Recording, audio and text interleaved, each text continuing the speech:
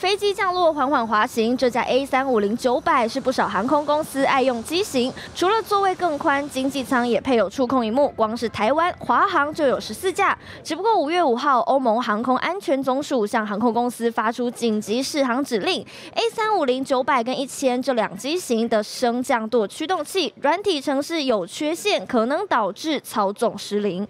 升降舵其实对一架飞机来讲是主管它的这个呃。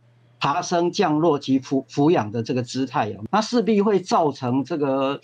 呃，驾驶员的指令没有办法正确的传达到舵面上面去，尤其在起飞降落的时候更加是危险哈。欧盟航空安全总署要求业者十六号之前修改飞行手册，并向机组员说明状况，以利应变。而世界民航杂志也揭露，这并非 A 三五零九百首次出状况，二零一九年曾发生电子设备运作缺陷，二零二零年也二度因为机舱地板被液体泼洒后发生空中关车。目前全球航空公司，包含华航。新航、日航等等都有 A 三五零九百直飞中。对此，华航回应，他们并非使用这次试航指令的城市，因此不会受到影响。可能潜藏的这个危险啊，他们都会做一些预警式的去调整。那如果说真的是发现严重的这个缺失，我想他们的处置是直接禁航不能飞了啊。专家表示，通常民航机在设计上安全系数其实都非常高，通常发现问题也会立刻改善，因此民众大可继续安心搭机。